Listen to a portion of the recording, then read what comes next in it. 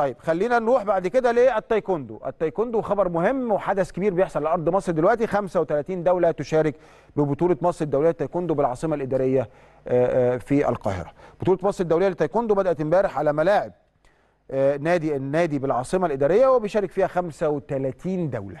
آه والله زي ما بقول لكم كده. النسخة دي هي النسخة رقم سبعة من بطولة مصر الدولية واللي تتلعب في الفترة من 11 وحتى 15 فبراير اللي إحنا فيه وبيشارك فيها 716 لاعب ولاعيبة.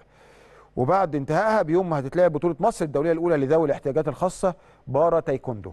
وهتبقى يوم 16 من نفس الشهر. وبعدين مصر هتستضيف بطولة كأس رئيس الاتحاد الدولي وهتتلعب على يومين 17 و 18 فبراير اللي إحنا فيه بمشاركة 242 لاعب ولاعيبة برضه من 35 دولة.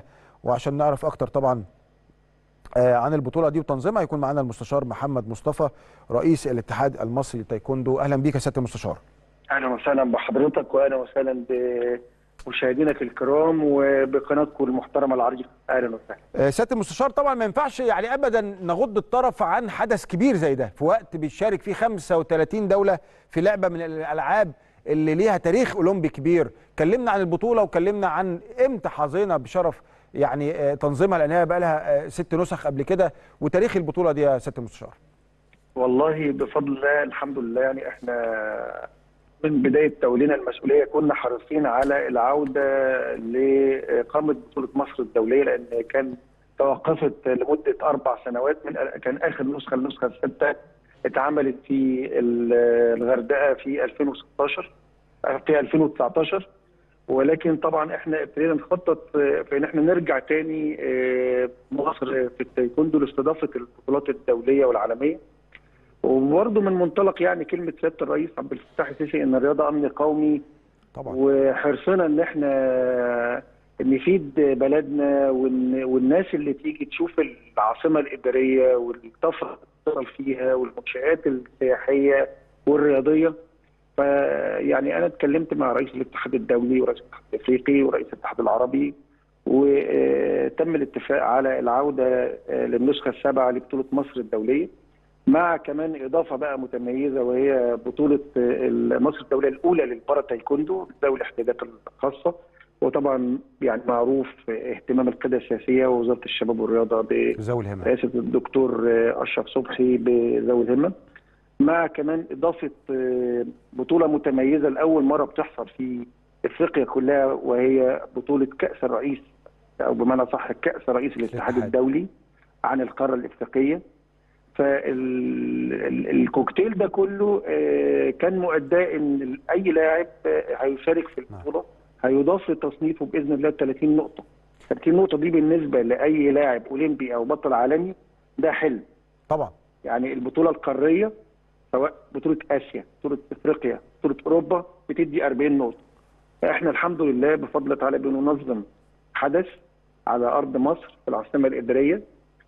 من زي ما حضرتك تفضلت قلت من يوم 11 ليوم 18 نعم. حدث بيضم 30 نقطة و10 نقط كمان للبار طب ك- يعني سياده المستشار كمان على هامش البارة ال 30 نقطة دول لأي حد هيشارك؟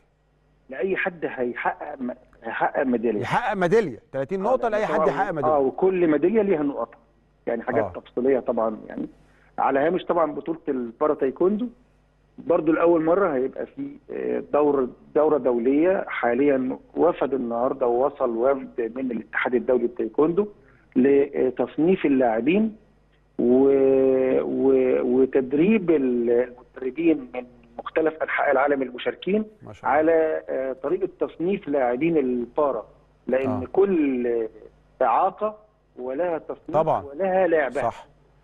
صح. آه، إحنا بفضل تعالى يعني. من طب سياده المستشار أنتوا كاتحاد. حاجة قوية جدا. أنتوا كاتحاد مسؤولين عن الاثنين التايكوندو الأصحاء والبارا تايكوندو صح؟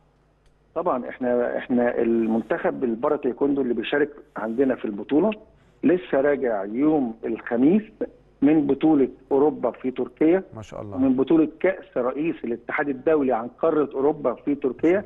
الحمد لله عملنا ثلاث ميداليات آه، ميداليتين آه، برونز وواحدة فضة. ما شاء الله يعني فريق يعني مصنف يعتبر حاجة جيدة جدا يعني. إحنا عندنا حاليا المصنفة الثالثة على مستوى العالم في البارا تايكوندو ما شاء الله ما شاء الله سياده المستشار طب سياده المستشار إحنا اتكلمنا على المستوى التنظيمي. عايز أروح على المستوى الفني طبعا. إحنا عندنا هل لعبتنا في ال في ال في, ال في التايكوندو النهارده اللي مشاركين في بطولة مصر الدولية دي شايف يعني حظوظهم إيه؟ هل عندنا حظوظ عالية؟ هل شايف إن إحنا يعني ممكن نجيب ميدالية في البطولة دي ولا شايف إن دي إعداد لحاجة تانية أكبر؟ إحنا بنجهزهم لمصر الدولية من من بعد بطولة العالم للكبار في المكسيك في شهر 11 كان الحمد لله ربنا وفقنا في بطولة العالم في المكسيك وعملنا ميدالية برونز على يد بطلنا الأولمبي العالمي سيف عيسى. تمام. والميدالية دي كانت غايبة عن عن التايكوندو المصري من تسع سنوات. من بعدها على طول رحنا بطولة الجائزة الكبرى النهائية في السعودية. الحمد لله عملنا فيها ميدالية برونز. آه لسه منتخب الأول عندنا لسه راجع من آه بطولة كأس العرب وبطولة الفجيرة الدولية العشره في الفجيرة آه بالإمارات العربية المتحدة. آه لسه هم راجعين يوم الأربعاء اللي فات. الحمد لله عملنا 11 ميدالية. الله الله وترتيب عام ثاني على مستوى كل الدول ولك بقى حضرتك أن تتخيل آه بطولة هناك وفي الفجيرة وتنظيم للنسخة العشره كل الدول جاية حابة إن هي تشارك آسيا بالكامل بما فيها شرق آسيا بما فيها كوريا بما فيها إيران بما فيها الدول القوية في اللعبة كانوا موجودين. والحمد لله ربنا كرمنا ب 11 ميدالية. وكنا بنقول إن دي مرحلة مهمة جدا جدا في الإعداد لمصر الدولية. فإن شاء الله الولاد راجعين مركزين نزلوا من الطيارة على معسكر مغلق وهيدخلوا المدينة الأولمبية في العاصمة الإدارية بكرة بإذن الله تعالى استعدادا للميزان لميزان أول يوم واللعب بإذن الله زي ما حضرتك تفضلت الأول وقلت يوم 14 و15 ما شاء الله. معاك. حضرتك معاك الأجندة التفصيلية؟ طبعا. البطوله وأنا طبعا. أنا مش عارف الكلام ده اتسرب إزاي لا. لا ده إحنا إحنا متابعينكم جامد جدا وسيف كان ضيفنا هنا بعد ما جاب ميدالية أولمبية و... وكنا سعداء جدا بيه. وأنتم من الاتحادات بامانه اللي شغالة برضه يا سياده المستشار.